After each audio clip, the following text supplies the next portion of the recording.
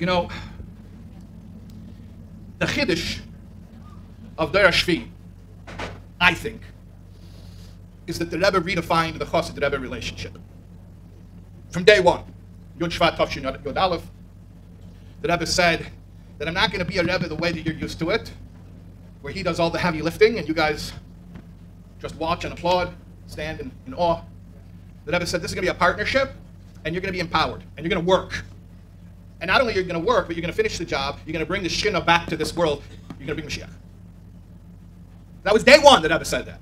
You guys are going to do it. You're going to bring Mashiach. So in other words, from day one, we were empowered, we were uplifted. Now, I don't know if people really, really, really believed the Rebbe.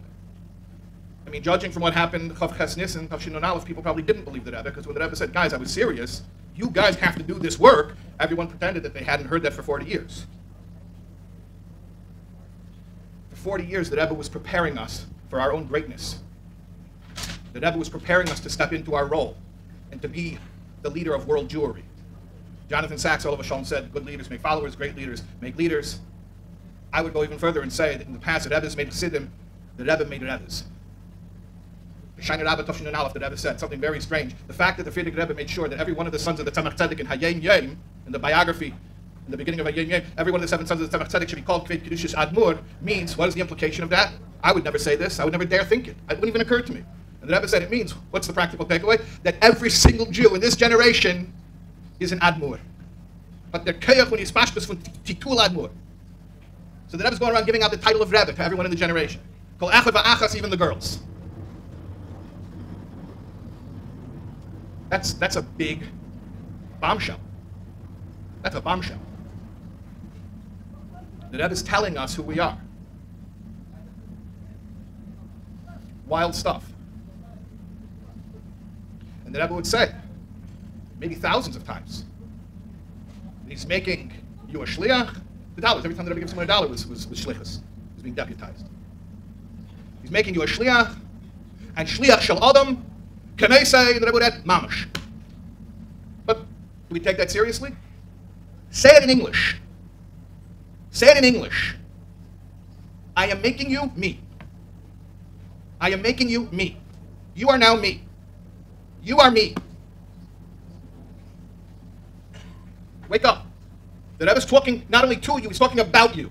You are me. But it's not so surprising when you realize there's another concept, another Chiddush of the Rebbe. Not only is it that every single Jew in this generation is a Rebbe and a leader of world Jewry, but there's another Chiddush of the Rebbe, and that is that we are all more closely, closely related to Nesi Doreinu than a biological child.